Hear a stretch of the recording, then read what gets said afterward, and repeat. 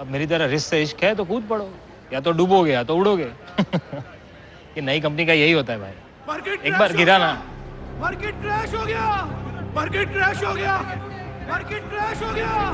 Market crash हो गया। जब ऐसे मार्केट क्रैश होते हैं तो बहुत से लोग डर जाते हैं लेकिन बेस्ट इन्वेस्टर्स प्रे करते हैं कि एक बार बस एक बार दोबारा मार्केट क्रैश हो जाए उनके जीते जी। और उसके कारण जो हमें प्राइसेस मिले। I pray that 2008 happens once again in my life time okay तो बहुत से मास्टर इन्वेस्टर्स ने इसी मार्केट क्रैश में करोड़ों रुपए कमाए हैं। और आज इस शॉर्ट कोर्स में हम पुराने सारे मार्केट क्रैश को स्टडी करेंगे कि इन मास्टर इन्वेस्टर्स ने कौन कौन सी स्ट्रैटेजी को यूज़ किया था इन करोड़ों रुपए को कमाने के लिए। और फिर हम इनमें पैटर्न ढूंढेंगे ये डिसाइड करने के लिए की अगर अब मार्केट क्रैश होता है तो हमें कौन से स्टॉक्स लेने चाहिए। अब अगर हमें मास्टर इन्वेस्टर्स की स्ट्रैटेजी समझनी है तो हमें दो टर्म्स क्लियर होनी चाहिए और ये है लॉन्ग पोजिशन और short position long position normally सबको पता है कि कंपनी के शेयर सस्ते प्राइस में लो और फ्यूचर में उसे महँगे प्राइस में सेल कर दो। यानी अगर आज आपने पाँच हज़ार रूपए के शेयर खरीदे और कल को इस कंपनी के शेयर का प्राइस इंक्रीज होकर दस हज़ार रुपए हो जाता है तो आपका प्रॉफिट इस पर्टिकुलर केस में ten thousand minus five thousand is equal to five thousand rupees होगा। दूसरी टर्म जो हमें समझनी है वो है शॉर्ट पोजिशन लोग किसी भी स्टॉक को तब शॉर्ट करते हैं जब उन्हें लगता है कि मार्केट गिरने वाली है। यानी पिछली स्ट्रैटेजी का ये एकदम ऑपोजिट है।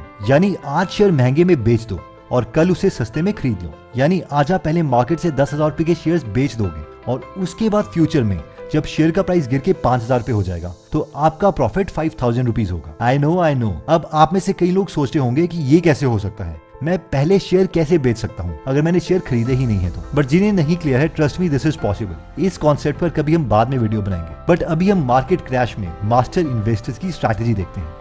तो सबसे पहली केस स्टडी है the Big Short the guy who made hundred million dollars Michael Burry का जन्म कैलिफ़ोर्निया में हुआ था और बचपन में दो साल की उम्र में ही इन्हें रेटिनो रेटिनोब्लेस्टोमा की बीमारी हो गई, जिसकी वजह से इनकी एक आँख चली गई और इन्हें उसकी जगह कांच की आँख लगानी पड़ी। इन्होंने फाइनेंस की पढ़ाई करने के बाद डॉक्टर की भी पढ़ाई करी Vanderbilt University School of Medicine से। लेकिन हर शाम को ये इन्वेस्टिंग सीखते रहते थे। बरी ने खुद के लिए एक इन्वेस्टर की रेपुटेशन बना ली थी। इनका कहना था की ये द इंटेलिजेंट इन्वेस्टर बुक की फिलोसफी पर चलते हैं।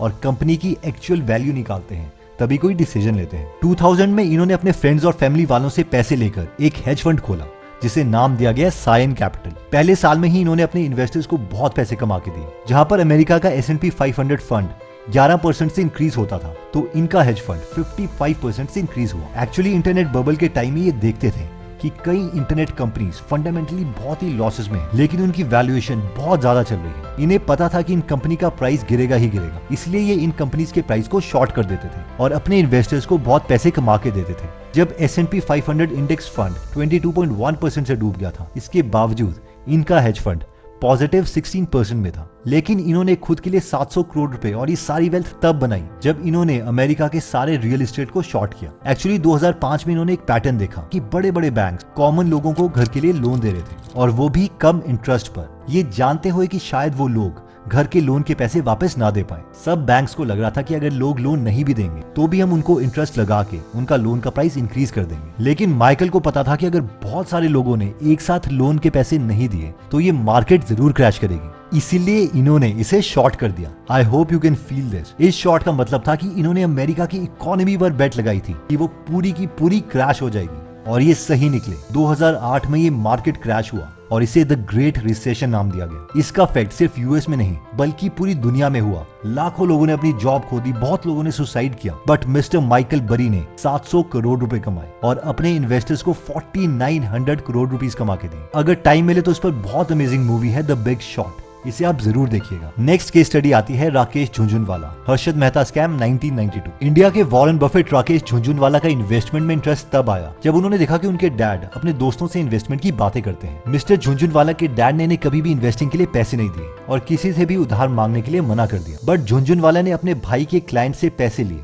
और उसे प्रॉमिस किया कि वो उसे बैंक डिपॉजिट से ज़्यादा रिटर्न देंगे। 1986 में उन्होंने अपना सबसे बड़ा प्रॉफिट अर्न किया, जब उन्होंने टाटा टी के पाँच हज़ार शेयर लिए forty three rupees per share के हिसाब से, जिसकी वैल्यू सिर्फ़ तीन महीने में वन फोर्टी थ्री रुपीज़ हो गई और उन्होंने अपने पैसों को थ्री टाइम्स कर दिया। इन तीन सालों में मिस्टर झुंझुनवाला ने 20 से 25 लाख रुपए कमा लिए थे। अगले कुछ सालों में इन्होंने काफ़ी कंपनीज़ में इन्वेस्ट किया। जैसे कि टाइटन क्राइसिल प्राज इंडस्ट्रीज़ औरोबिंदो फार्मा एंड एनसीसी लेकिन राकेश झुंझुनवाला कहते हैं कि इन्होंने सबसे ज़्यादा पैसे हर्षद मेहता स्कैम के टाइम में बनाए। हर्षद मेहता के समय पर how you tackle the market बोले मैंने वो जमाने में एटलीस्ट मंदी में तीस पैंतीस करोड़ रुपया कमाया तो सवाल यह है कि इस टाइम इन्होंने क्या स्ट्रैटेजी यूज़ करी थी? तो जब सुचेता दलाल ने टाइम्स ऑफ़ इंडिया में हर्षद मेहता का स्कैम पब्लिश किया तो स्टॉक मार्केट क्रैश कर गई। सेंसेक्स की वैल्यू साढ़े चार हज़ार से 1980 पहुँच गई। जब स्टॉक का प्राइस बहुत ही गिरने लग गया तो इस वक्त पर राकेश झुंझुनवाला और राधा किशन दमानी ने स्टॉक्स को शॉर्ट कर दिया और बहुत पैसे कमाए। वैसे इन्हीं पैसों को मिस्टर दमानी ने यूज़ करके डीमार्ट खोलने के लिए यूज़ किया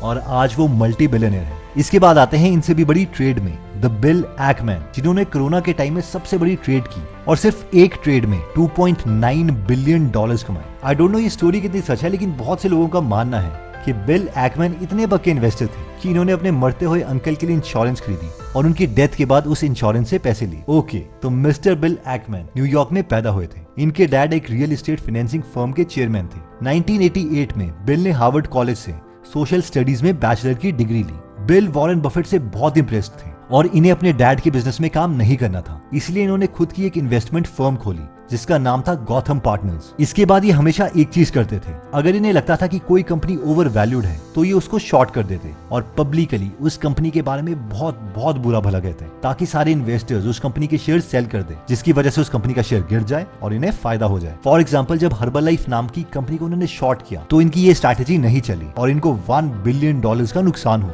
जब कोरोना का टाइम आया तो इन्होंने देखा कि वुहान चाइना में लॉकडाउन हो गया है। इन्हें पता था कि ये वायरस कम से कम 50 परसेंट वर्ल्ड पॉपुलेशन को अफेक्ट करेगा। फिर पब्लिकली कहा कि गवर्नमेंट को यूएसए में लॉकडाउन कर देना चाहिए। और जब ऐसा हुआ तो 30 दिन के अंदर इन्होंने अपनी इन्वेस्टमेंट को 100 टाइम्स कर दिया। इन्होंने इसी पैसों को अच्छी अच्छी कंपनीज़ के शेयर्स खरीदने में इन्वेस्ट किया। जैसे कि वॉन बफेट की कंपनी बर्कशायर हैथवे के शेयर्स खरीदे। इन्होंने ये ट्वीट करके कहा था ये लाइफ टाइम की अपॉर्चुनिटी है। हमें इसे मिस नहीं करना चाहिए। नेक्स्ट केस स्टडी है जिम साइमंस की। बहुत साल पहले जब गोल्ड माइनिंग की जाती थी तो लोग मैनुअली गोल्ड माइन करते थे। लेकिन आजकल की दुनिया में से कंप्यूटर्स की मदद से किया जाता है। क्योंकि गोल्ड के टुकड़े इतने छोटे हैं कि ह्यूमंस इन गोल्ड के टुकड़े को देख नहीं सकते। अब हम में से कई लोग सोचते होंगे कि शायद अब हम कम गोल्ड एक्सट्रैक्ट करते होंगे। रियलिटी यह है कि क्वांट टेक्निक्स की मदद से हम ज़्यादा गोल्ड एक्सट्रैक्ट कर पाते हैं।